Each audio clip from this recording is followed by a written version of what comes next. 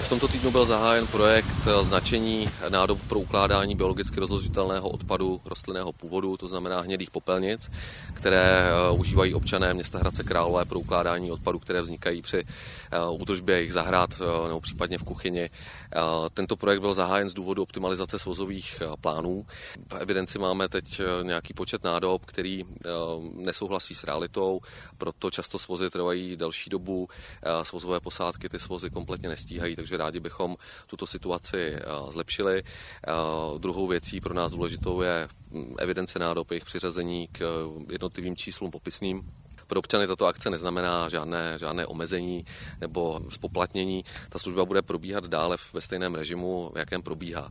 Polepy označení nádob provádějí brigádníci, kteří ve svozový den jsou vybaveni známkami, jsou vybaveni eh, seznamy s, s čísly popisnými, takže mají za úkol nádoby, které jsou připraveny ke svozu, označit samolepkou, zapsat evidenční číslo. A tyto údaje budeme následně zadávat do našeho systému a, a budeme eh, je zohledňovat při eh, optimalizaci svozových, svozových plánů. Pokud jeden z vozů nádoba není přistavená, připravena na ulici, což se může stát, je léto, je doba dovolených, ani se nikdo nenachází eh, v nemovitosti, tak eh, brigádník vhodí do schránky informační leták. Každý občan si může svozovou známku vyžádat telefonicky nebo e-mailem, následně mu bude zaslaná poštou na jeho adresu, případně si může osobně vyzvednout provozovně hradeckých služeb.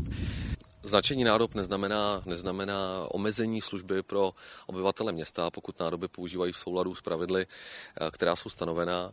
Rádi bychom všechny nádoby zaregistrovali do systému, to znamená označili eh, do konce srpna, případně v průběhu září nějaké poslední zbytky, s tím, že od října bychom eh, rádi svážili pouze označené nádoby.